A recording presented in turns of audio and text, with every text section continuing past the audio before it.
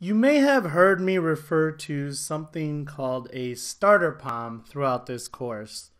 Or when we went to set up new projects, you may have seen a dependency called spring dash starter dash whatever, say web for web MVC stuff.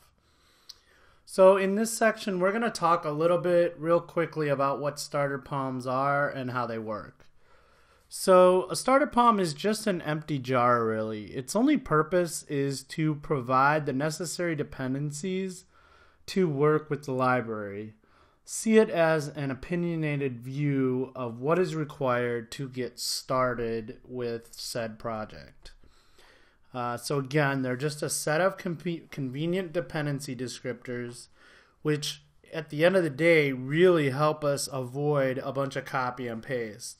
So we'll look at a demo and we'll jump in and actually see what like the web starter POM provides to us. And if you had to do this on every project that you needed, you would just really get sick of it going into an old project, figuring out all of the dependencies that a web project may need, and copying and paste them into the new uh, Maven POM or build Gradle build file. It just gets to be a real big pain in the butt, and we want to avoid copy pasting at any point in a programmer's lifetime because copy and pasting always ends up leading to not only complexity but can lead to errors as well. So you'll see a lot of starter POMs went throughout this course, and they all start with spring dash boot dash starter dash whatever that POM is. And you can also create your own. We're not going to create one here in this particular demo, but I will link to the documentation. It's really easy to create your own. So say you add your own set of dependencies in-house at, at your place of work or, or locally with what you do you can kind of create your own and, and and again it gives you this nice kickstart to a particular type of project.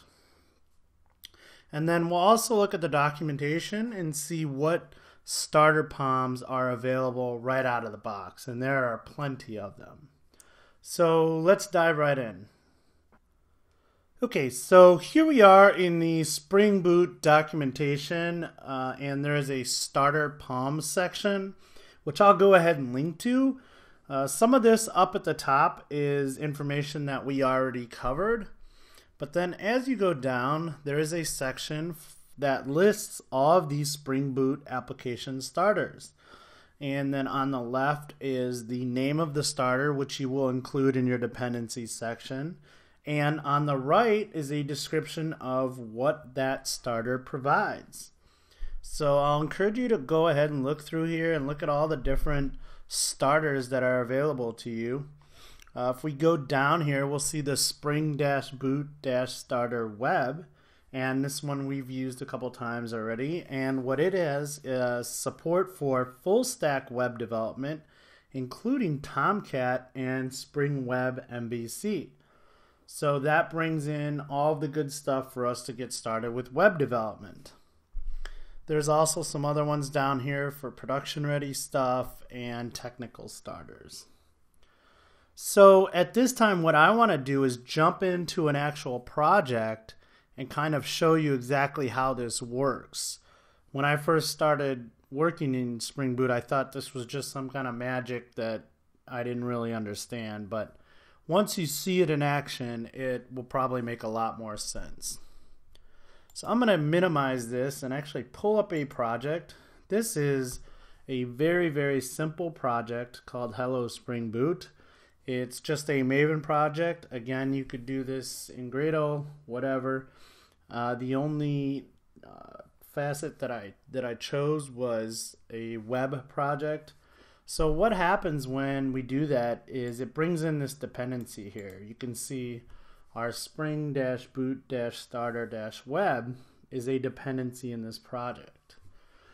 So what actually happens when we do this? When we build this, if we look over here at our external libraries and start to go down through here, we'll see, hey, there's Spring Boot. This is the particular version of Spring Boot that we're using. But then there's this other one here, this Spring Boot Starter Web. So let's drill down into this. So this this actually gives us a little insight into what is going on here.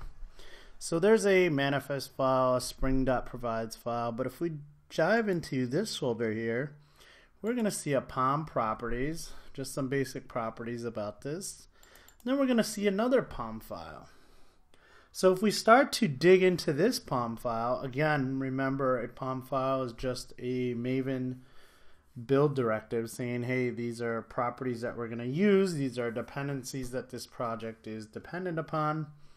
So in this one, now we start to see some more dependencies. So there's a dependency on on Tomcat, on Jackson, on Hibernate, on Spring Core, some logging stuff, web, web MVC.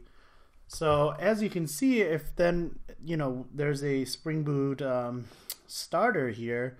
So if we were to jump into starter, which is right here, then there's more dependencies that we kind of need to get going. Things for like Spring Boot and auto configuring and logging and core. So all this is, remember, is a way to start a particular project and provide all of the dependencies that we would need.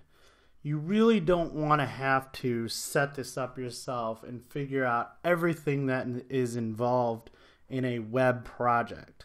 So Spring Boot does that using starter POMs.